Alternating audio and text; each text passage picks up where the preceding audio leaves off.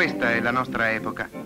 L'amore per il bello, la ricerca della pura forma è andata via via trasformandosi in espressioni astrattistiche che si vanno sempre più allontanando dai canoni classici. La bellezza non è più la sola espressione dell'ideale artistico. È finita l'epoca delle modelle.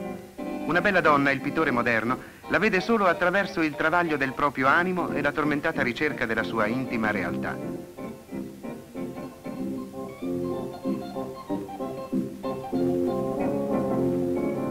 Addio vecchio Ottocento, epoca felice anche se forse troppo romantica. I pittori allora cercavano le loro modelle fra le ciociare che discendevano a Roma a vendere fiori sulle gradinate di Trinità dei Monti. Eccole le donne che si resero indispensabili all'arte della passata generazione ispirarono pittori, scultori e poeti, furono famose e contribuirono a dare lustro nel mondo ai nostri più grandi artisti. Ma il tempo è passato anche per loro. Le celebrate donne di Michetti, di Carosi e di Mancini e di tanti altri, cantate anche da D'Annunzio, ora vivono nel passato. Benché gli anni abbiano scavato i loro volti e appesantito i loro corpi, esse hanno conservato negli animi quella gentilezza che le spinse a servire l'arte. Oggi, forse per rimanere fedeli ai luoghi che le videro splendenti di bellezza, sono tornate a Roma, ancora come allora ad offrire bellezza. I fiori.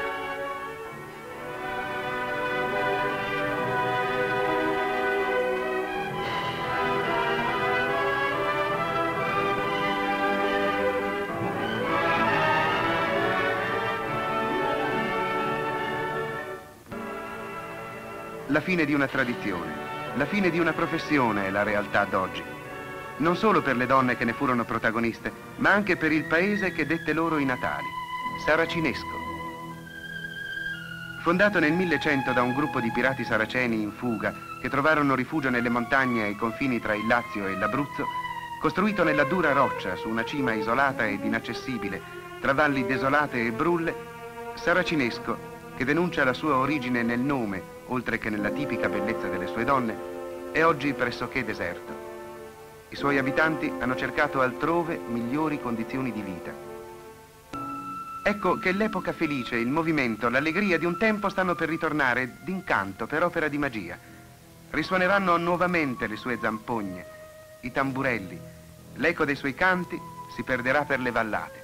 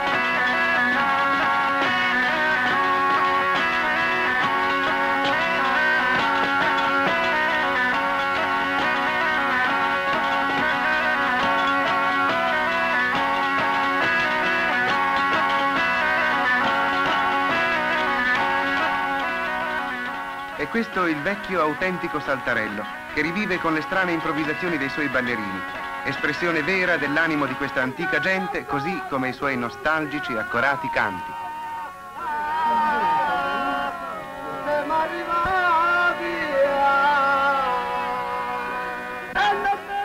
Saracinesco è tornato a vivere, ma è stato soltanto una rievocazione.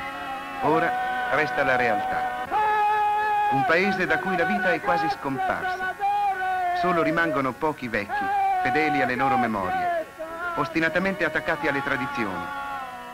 Vivono solitari, fuori del tempo, in attesa che torni qualcuno dei vecchi pittori a ritrovare lassù i fantasmi del passato. Anche per loro il tempo si è fermato a Saracinesco.